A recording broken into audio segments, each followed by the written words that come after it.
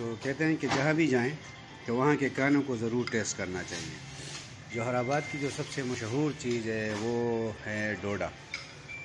डोडा खालिश घी, दूध और दही से मिक्स करके और जो गंदम होता है, ख़ास किस्म का गंदम, उसके आटे से बनता है तो ये चीज़ बन जाती है। ये डोडा मशहूर है यहाँ का।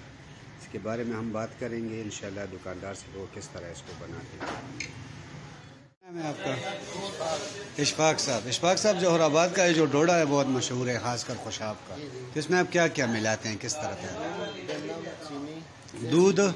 दूध गंदम चीनी देसी घी बादाम वगैरह। और गंदम भी खास गंदम होता है मेरे ख्याल अंगूरी गंदम है क्या? उससे आटा बनाते हैं आप। कितना टाइम लगता है बनाने में? सौ किलो। पे चार घंटे लगते हैं। सौ किलो दूध सौ सिर्फ़ बीस किलो डोडा निकलता है। उसमें दही कितना डालेगा? दही तो बस उसको पालने के लिए ना। अच्छा और घी कितना डलेगा? थोड़ा सा मेरे ख्याल। में अच्छा। वैसे ये यहाँ का मशहूर है लेकिन अनवर डोडा जो है ये बहुत मशहूर है यहाँ का ना। तो इसके अलावा भी कोई आपकी ब्रांच है यहाँ पे अनवर? ब्रांच हमारी खुशाब है एच बैंक के साथ जो है। अच्छा। ये तो उसकी ब्रांच है। इसकी ब्रांच है। रेट क्या है डोडा का?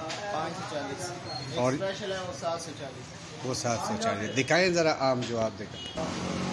अच्छा ये पाँच सौ चालीस वाला जो अभी हम हमने खाया है ना। तो ये है पाँच सौ चालीस का जो सादा है। और ये जो है इसमें बादाम और इस तरह किशमिश वगैरह, ये सात सौ चालीस का है। तो जौहराबाद की जो पहचान है वो है डोडा और इसकी जो पहचान है वो है अनवर डोडा हाउस। तो चले देखते हैं, टेस्ट करते हैं। शुक्रिया अशफाक साहब।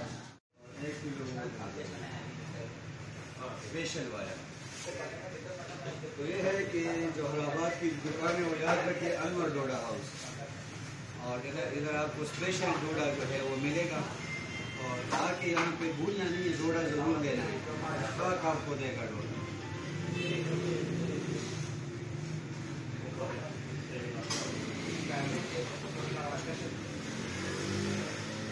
बस देख।